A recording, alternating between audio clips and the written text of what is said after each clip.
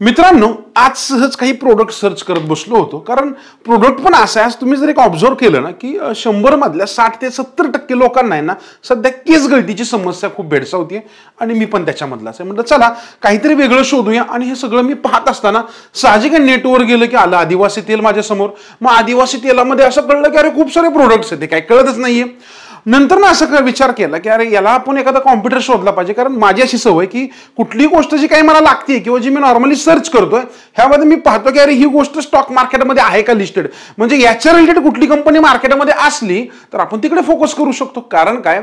कदाचित एखादा चांगला स्टॉक पण आपल्याला सापडू शकतो. त्याच्यावर आपण अभ्यास करू शकतो. आणि हे मी असं अनालिसिस करत असताना मला एक छान स्टॉक याच्यामध्ये सापडलं. म्हणलं चला मला जर चांगला वाटतो याच्यामध्ये तर आपण हा तुमच्यापर्यंत का नको शेअर करायला? तर बघूया याच्यामध्ये की ही कंपनी कुठली आहे. ह्या कंपनीमध्ये नक्की काय अगदी डिटेलमध्ये मी तुम्हाला सांगणार आहे. आणि मला छान वाटलं की जेव्हा हा मी प्रॉडक्ट सर्च करत होतो ओके आता हा प्रोडक्ट सर्च करताना असं साप- समजलं मला की अरे जवळपास ही कंपनी एक तीन हजार कोटींचा हा ब्रँड बनलेला आहे. आणि हा ब्रँड तुम्हाला पण माहीत असणार आहे. पण नुसतं माहीत असून फायदा नाहीये. ॲक्च्युली काय फायदा करून घ्यायचा आहे आपल्याला याच्याकडे आपल्या सगळ्यांना फोकस करायचा आहे. कारण नॉर्मली हे एक आयुर्वेदिक प्रोडक्ट आहे. आणि आपण बघितलं जातं की आयुर्वेदिक म्हणलं की काही ठराविक दोन तीन नावं आहेत. काही बाबांची नावं आहेत त्याच्यामध्ये येतात. पण हा स्टॉक असं आहे. म्हणजे हा त्याचा एक प्रोडक्ट आहे की जो सगळ्या कंपन्यांना ह्या फील्डमधल्या पूर्ण उरलेला आहे.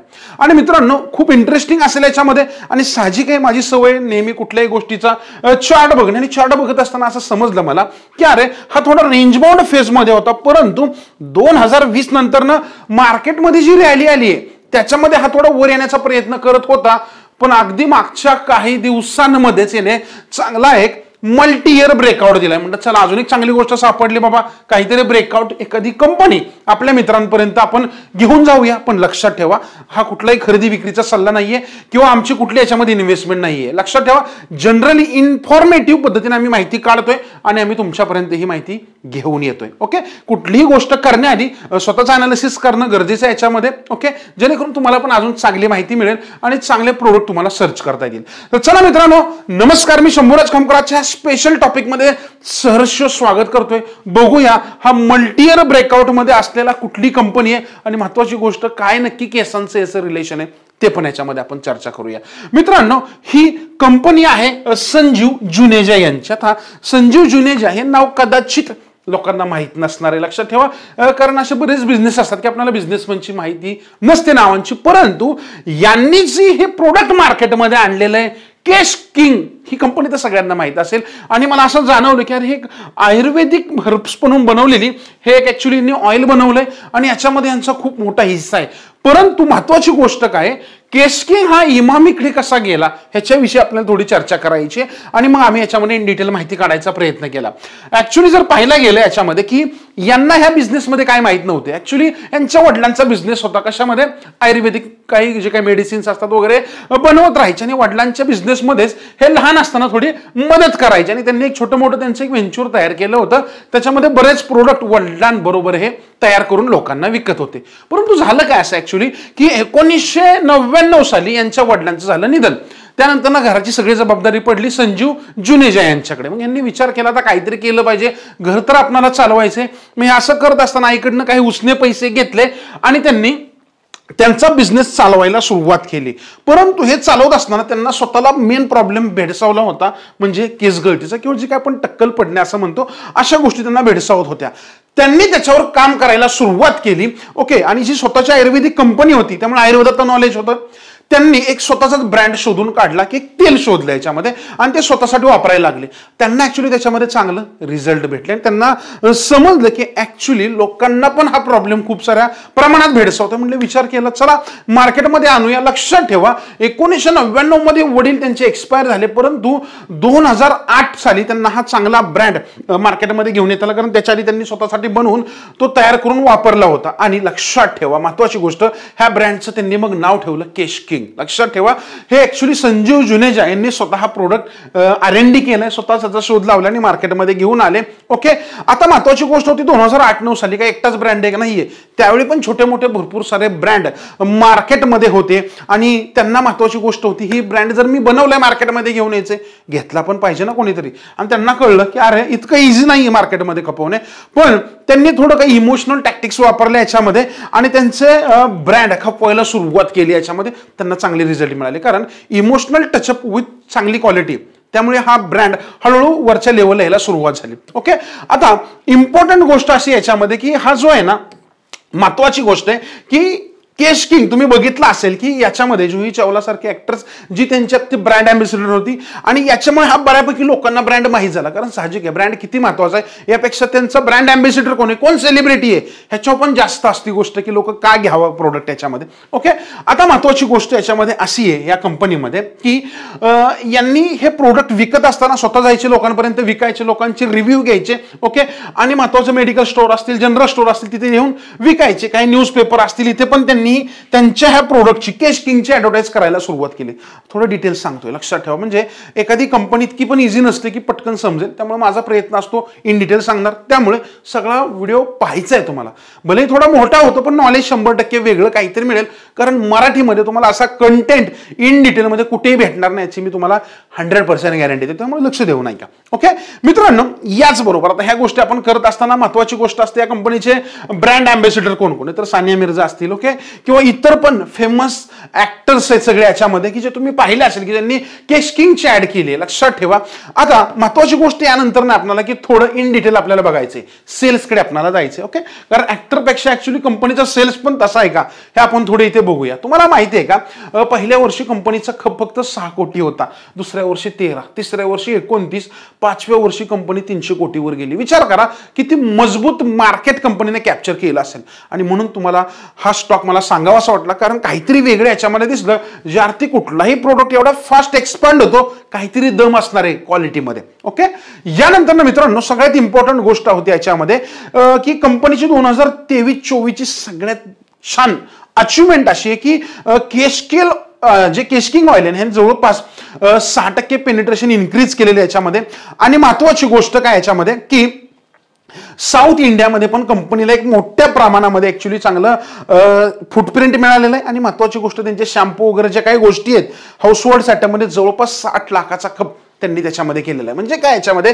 तर कंपनीचा जो काही प्रोडक्ट बेस आहे म्हणजे केशकिंग ऑइलच नाही ना त्यांच्याकडे बाकीच्या पण इतर गोष्टी आहेत त्या पण कंपनी चांगल्या खपवते एका नावामुळे. ओके आता तुम्हाला फरक पडला प्रश्न पडला असेल की अरे केशकिंग ही काही लिस्टेड कंपनी आहे का? नाही आहे ही कंपनी कोणाच्या अंडर येते? ह्याच्यावर आपल्याला थोडं फोकस करायचं आहे आणि ती कंपनीकडे अजून काय वेगळं आहे का? जेणेकरून हा जो काय मल्टीयर ब्रेकआउट दिलाय तो सस्टेन पण होणं महत्वाचं आहे ना? तर बरेच स्टॉक असतात थोडी रॅली देतात आणि पुन्हा डाऊन साईडला जातात. आता ते डाऊन साईडला जाईल का अपसाईडला जाईल हे तुम्हीच मला एंड ऑफ द व्हिडिओ सांगणार आहे. एवढी डिटेल माहिती मी तुमच्यापर्यंत प्रोव्हाइड करतोय. ओके आता मित्रांनो हे सगळं समजत असताना एक गोष्ट याच्यामध्ये जाणवली की हा जो काही ब्रँड आहे ओके? केशकिंगचा हा ऍक्च्युली आत्ता जो आलेला एका कंपनीकडे ती कंपनी आहे कुठली? इमामी पण इमामीला एवढं इझी नव्हतं. कारण काय?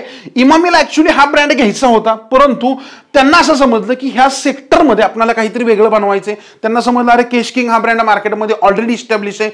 प्लस ह्या ब्रँडची मार्केटमध्ये रीच चांगली आहे परंतु आपण काही एकटेच नाहीये. बजाज कंझ्युमर असेल डाबर असेल गोदरेज असेल हे सगळे तगडे फिल्डर्स होते ना हे तर उभे होते मार्केटमध्ये. इमामी सोबतच कशासाठी केस्किंगला अक्वायर करण्यासाठी. परंतु झालं काय की इमामीने फायनल ही डील जिंकली याच्यामध्ये. आणि त्यांनी जवळपास सोळाशे सतराशे कोटीला त्यावेळी तो ब्रँड अक्वायर केला.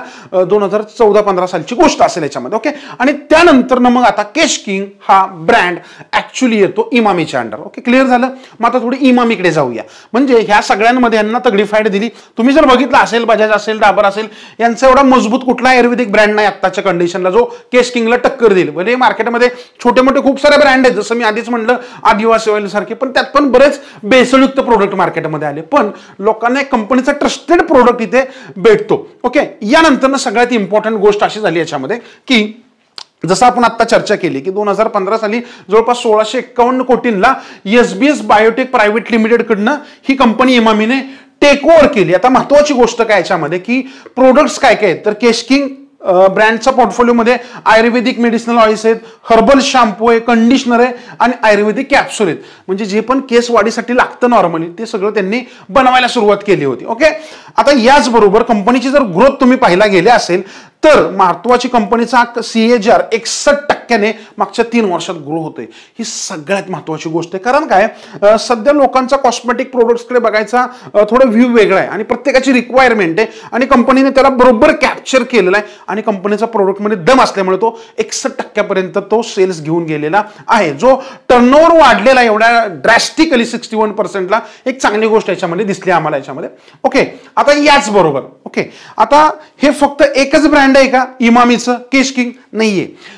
मध्ये आम्हाला असं दिसलं की अरे झंडूबाम ह्यांचाच आहे. बरोबर आहे? त्यानंतर फेअर अँड हँडसम बघितलं असेल यांचाच आहे. अक्षय कुमार जे जाहिरात करतो बोरो प्लस यांचाच आहे. ऍक्च्युली नवरत्न कूल थंड थंडा कूल कूल. अमिताभ बच्चन असतील किंवा बरेच काय ऍक्टर्सनी जाहिरात केलेली आहे. त्यानंतर काही स्किन केअर प्रोडक्ट्स आहेत. डर्मी कूल असेल. ओके पंचरिश्ते भरपूर सारे ब्रँड्स आहेत. हे इमामीच्या अंडर येतात. म्हणून वाटलं की अरे चला हे जर सगळे स्टँडर्ड ब्रँड आहेत. ओके आणि ज्यार्थी हे सगळं असं आहे म्हणजे केस किंग अजून मजबूत होणार आहे. बरोबर आहे ना? कारण ही सगळी त्याची भावंडच म्हणू शकतो आपण. आता यामध्ये आम्हाला असं दिसलं की याच्यामध्ये जे काही टोटल रिव्हेन्यू येतो याच्यामध्ये तर जवळपास डर्मी कूल चौदा टक्के जो पण या सगळ्यामध्ये बोरो प्लसचा तेवीस टक्के झंडूबामचा पस्तीस टक्के आणि केश किंगचं दहा टक्के. म्हणजे एवढा फेमस ब्रँड असून पण त्यांच्या टोटल उत्पन्नामध्ये त्याची दहा टक्के हिस्सेदारी नवरत्न चौदा टक्के. म्हणजे काय? ह्यांना अजून पण स्कोप आहे. लक्षात ठेवा. कारण साहजिक आहे ना? कंपनी काय बघते? माझ्याकडे किती प्रोडक्ट आहेत आणि कुठल्या प्रोडक्टकडून मला किती इन्कम येतोय? साहजिक आहे? अजून हे हा प्रोडक्ट मजबूत होऊ शकतो मार्केटमध्ये त्यामुळे आम्हाला वाटलं की चला आपण थोड्या याच्यावर अनालिसिस करूया.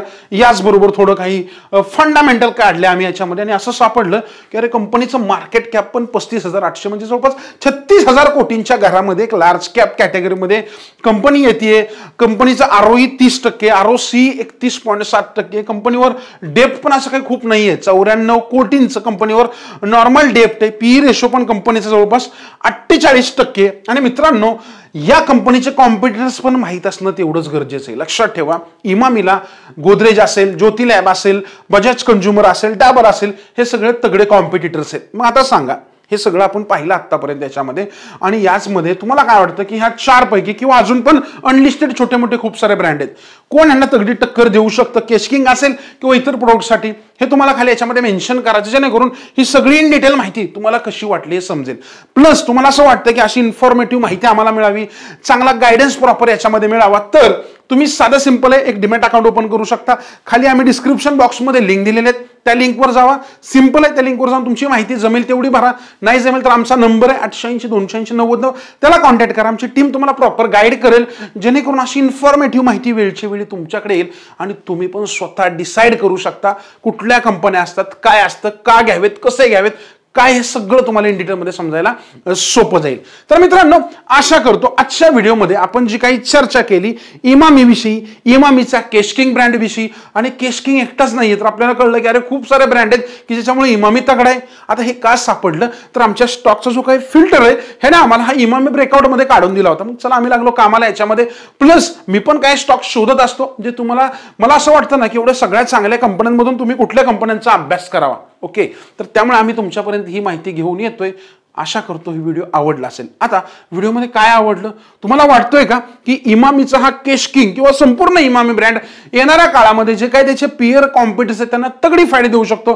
प्लीज कमेंट करून सांगा. आणि महत्वाची गोष्ट व्हिडिओ कसा वाटला? प्रत्येकाने सांगायचं कारण तुमची कमेंट आणि तुमची लाईक असे भरपूर व्हिडिओ आम्ही तुमच्यापर्यंत घेऊन येत राहणार आहोत. कारण हेच आम्हाला मोटिवेशन आहे. कारण तुम्ही लाईक नाही केलं तर आम्हालाही मग मोटिवेशन नाही येणार. कारण आम्हाला वाटतं की आम्हाला माहिती ती माहिती तुमच्यापर्यंत पण आली पाहिजे. कारण एवढा वेळ तुम्ही घालवण्यापेक्षा तुम्ही पाच दहा मिनिटामध्ये सगळी माहिती जाणून घेऊ शकता. धन्यवाद.